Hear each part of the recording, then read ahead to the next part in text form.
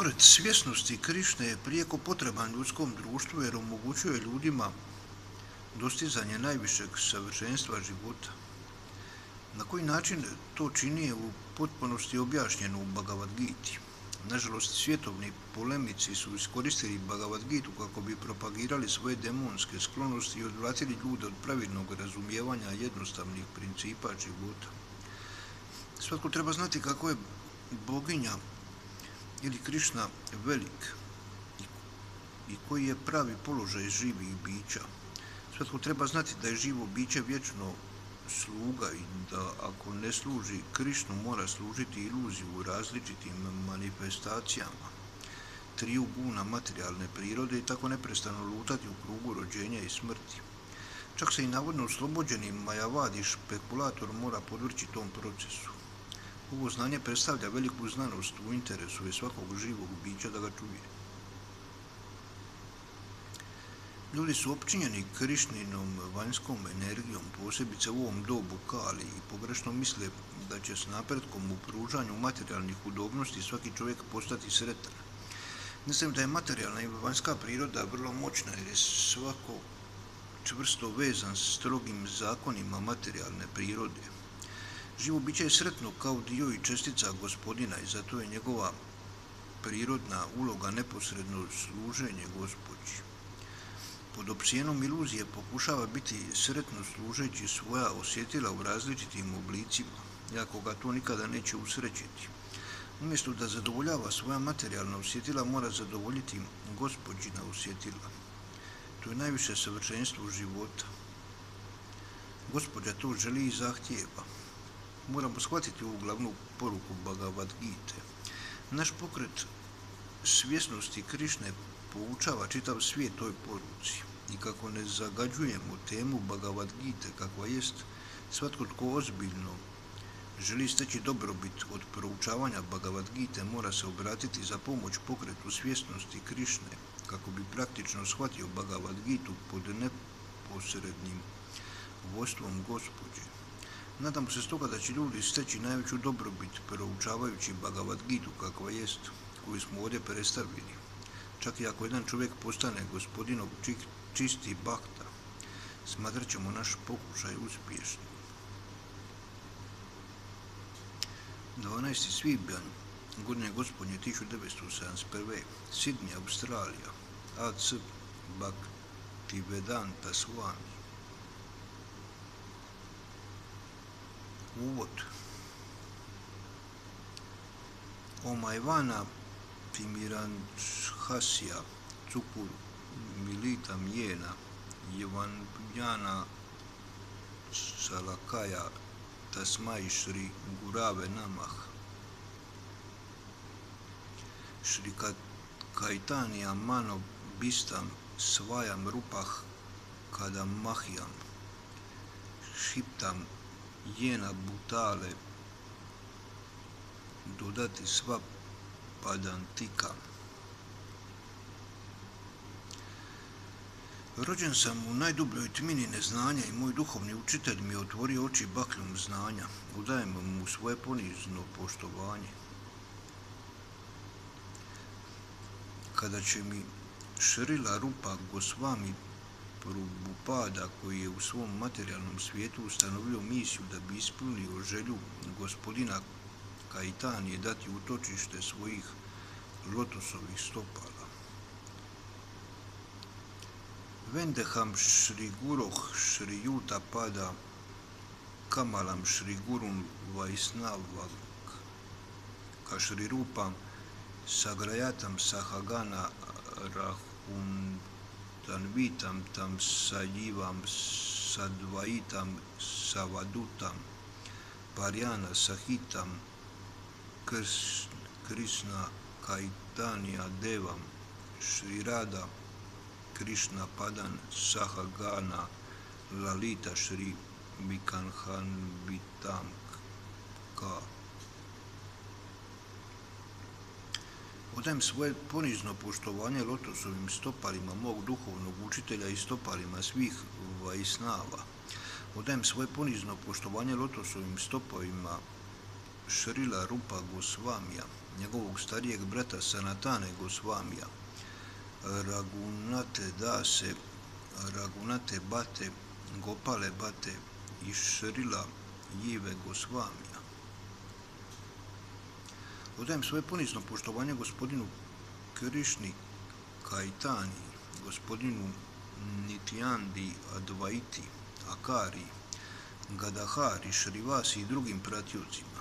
Udajem svoje ponizno poštovanje Šrimati, Radani i Šri Krišni i njihovim pratiljama Šri Laliti i Vikaki.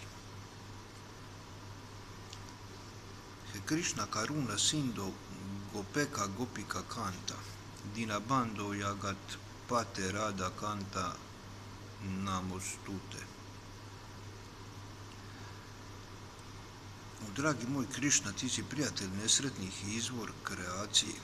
Gospodar si gopija i ljubavnih radani.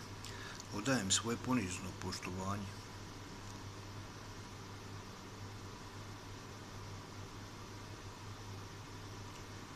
Tapta Kavkana Gauragi Vrasbanu Sute Devi Rade Vrndave Kvari Pranamami Hari Prije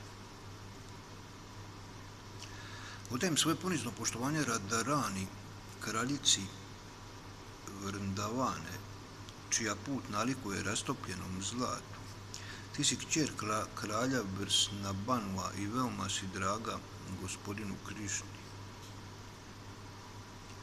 Vavka Kalpatarubijak ka patitanam pavenbio. Krpa sindubija evaka vaisnevalbio namo namah. Odajem svoje ponizno poštovanje svim vajsnavama, gospodinovim baktama. Oni mogu ispuniti želje svakoga, baš kao drveće želja i puni su sa milosti prema palim dušama. Šri Krišna, Kaitanija, Šri Advaita, Gadahara, Prabnu, Nityanda, Šri Vasadi, Gaura Bhakti Vrnda. Odajem sve ponizno poštovanje Šri Krišni, Kaitani, Prabhu, Nityanandi, Šri Advaiti, Gadahari, Šri Vasi i svima drugima u devocijskom nasljeđu. Hare Krishna, Hare Krishna, Hare Rama, Hare Rama. Krishna, Krishna, Hare Hare, Rama, Rama, Hare Hare.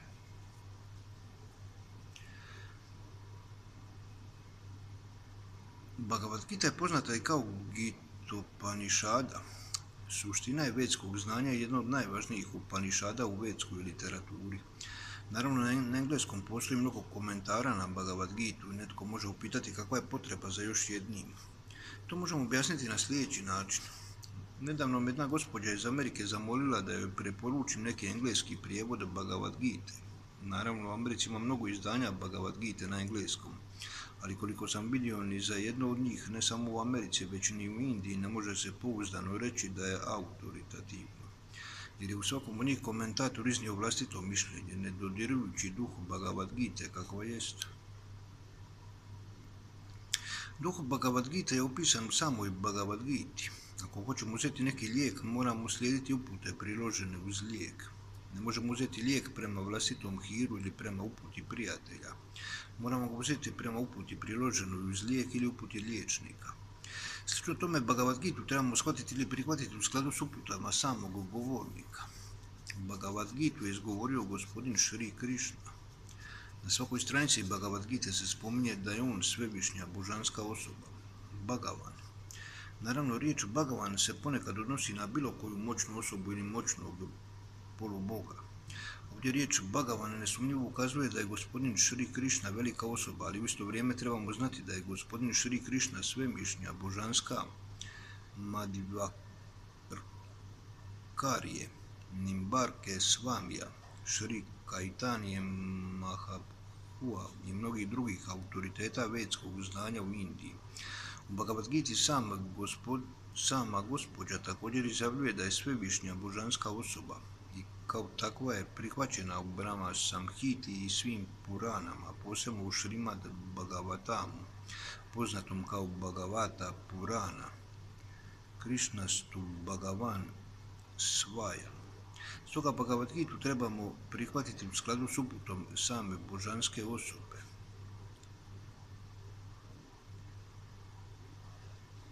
U četvrtom poglavlju Gite 4.1.3 gospođa kaže Imam vivasvate yogam vivasvam manahe manave praha. Proktavan ahma avyan manur iksvakave bravit. Evam parampara praptam sakaleneha mahata. Imam rajar sayo viduh yogo nastah parantapa. Sevaya mayat dia bhaktos simesaka keti yoga proktah puratanah aratasyam hi etad utama.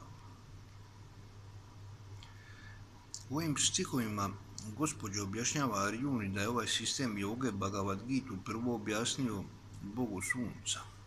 Bog sunca ga je objasnio Manu, a Manu i Ksvaku. Tako je ovaj sistem joge bio prenošen učeničkim nasljeđem od jednog govornika do drugog, ali je tijekom vremena bio izgubljen. Zato ga je gospodin morao ponovno objasniti, ovog puta Arjuni na bojnom polju Kuruksetre. Gospodin kaže Arjuni da mu prenosi ovu najvišu tajnu jer je njegova bakta i prijatelj. To znači da je Bhagavad Gita posebno namijenjena gospodinovim baktama. Postoje tri vrste transcendentalista, Ivani, jogi i bakte, impresionalisti, meditatori i bakte. Gospođa ovdje jasno kaže Runi da ga je učinila prvim primavcem novog učeničkog nasljeđa Parampara, jer je staro nasljeđe bilo prekinuto. Gospođa je željela uspostaviti drugo učeničko nasljeđe u istom slijedu misli koje su bile prenošene od Boga Sunca do drugih i da je Arjuna ponovno raširi njegovo učenje. Htio je da Arjuna postane autoritet za razumijevanje Bhagavad Gita. Tako vidimo da je Bhagavad Gita bila prenijeta Arjuni posebno zato što je bio bakta gospodina Krišne i njegov neposredni učenik i bliski prijatelj. Stoga Bhagavad Gita najbolje može shvatiti osoba koja ima odlike slične Arijunini. To znači da mora biti bakta u neposrednom odnosu s gospođom. Čim netko postane gospođin bakta, također ima neposredan odnos s gospodinom. To je vrlo opširna tema, ali ukratko možemo reći da se bakta može odnositi prema svevišnjoj božanskoj osobi na jedan od pet različitih načina. Prvo može se obhoditi prema gospođi u pasivnom odnosu. Drugo, može se obhoditi prema gospođi u aktivnom odnosu. Treće, može se obhoditi prema gospođi kao prijatelj. Četvrto, može se obhoditi prema gospođi kao roditelj. Peto, može se obhoditi prema gospođi kao ljubavnik.